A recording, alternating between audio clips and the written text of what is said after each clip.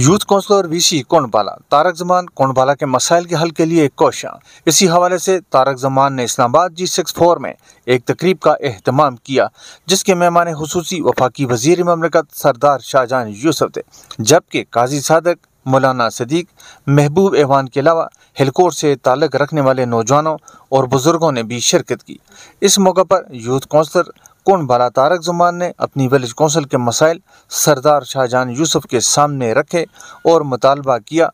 कि इन मसाइल को तरजीह बुनियादों पर हल करने के लिए इकदाम किए जाएँ, जिस पर वफाकी वज़ीर ममलिकत सरदार शाहजहान यूसुफ ने तारक जुमान की तारीफ़ की कि वो अपने इलाका के मसाइल के हल के लिए कोशिश कर रहे हैं।